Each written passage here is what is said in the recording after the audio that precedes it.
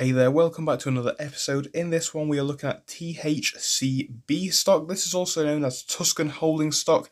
And the big news from last week was that the stock is apparently going to merge with Microvast. So, of course, that was a big driver for the company. Of course, if you don't know, Microvast is a electric vehicle power solutions provider. So, we did do a full, you know, update on that video. But of course, tonight is just our quick look, seeing where the stock price has gone since then. And then I'm going to be giving my opinions on whether I would buy or not. So if that sounds like a good quick episode, please do leave that like and subscribe. We are trying to get to 100,000. It's a very ambitious goal, but I do believe that we can do it with your help. So please do subscribe.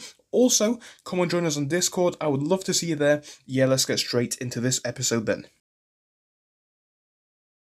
Then, so if we have a quick look on screen, we can see a lot of drive in the stock price. It went up about 25 plus percent in, you know, just over a week. So not bad at all for the shares price. But I did say at this point, it was getting to the point where it's not going to stay growing like this forever. And that is not necessarily a bad thing because, of course, once that news did come out, there's not really too much of a driving factor until we get closer to the merger date. And, of course, closer to the merger being voted on, there's not really too much uh, news and things like that to drive the price upwards. So I think that now we are looking in more of a reasonable price range, and I would definitely say if we are looking to buy in, we want to do it in a dip like this. I'm saying it could still go lower, but even if it does, or even if it doesn't, we are getting more to a range where I would be comfortable buying this one because looking up up here, you know, I said it was probably going to do a drop. It did quite a significant drop. I think at this point we did start to see a bit of recovery and I think we are still seeing recovery to this day, but I would say it is potentially a good point to buy in. I can see it growing further,